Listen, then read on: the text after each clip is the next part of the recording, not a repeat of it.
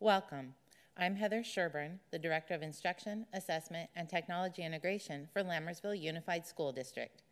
This webisode is one in a series of webisodes to provide parents information to help you be prepared for the first public release of California's new state testing system called CAASPP, California Assessment of Student Performance and Progress. Students in California take this state test as part of the Smarter Balanced Assessment Consortium, or SBAC.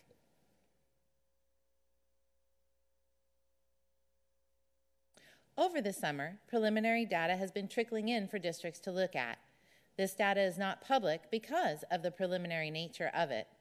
Last week, on September 3rd, an embargoed release of the final data was released to school districts.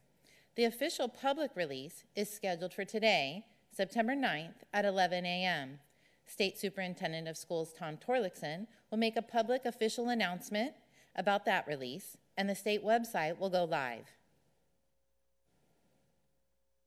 The slide in front of you is a slide from the California Department of Education, which shares information about key points to remember as we get our first set of results from CAASPP. California is raising the bar with standards that better prepare students for 21st century careers and college. Secondly, our state testing is now far more complex.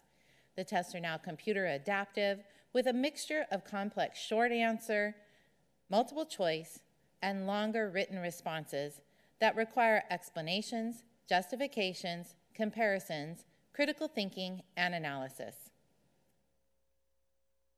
The State Department of Education, along with Lammersville Unified staff, remind parents and the community that this is an entirely different state testing system, which cannot be compared to the former CST or STAR testing program. The results this first year should be viewed as a baseline from which we can get, gather information to improve our instruction. Because this is a new test on new standards, it is natural to expect that there will be plenty of room for growth for all districts. When the website goes live, this is a screen that you will see. In future webisodes, I will share more information about how to navigate this site and what the data within it means.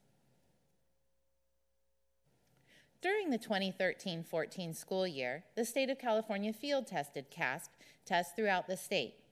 Based on the results of these field tests, the state established cut points and set initial state proficiency levels.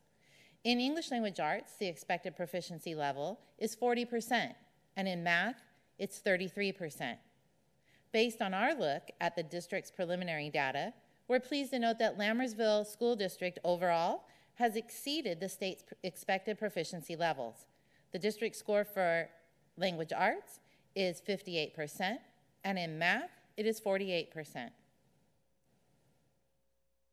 For more information about SBAC or CAASPP, we invite you to check out the links below. Thank you.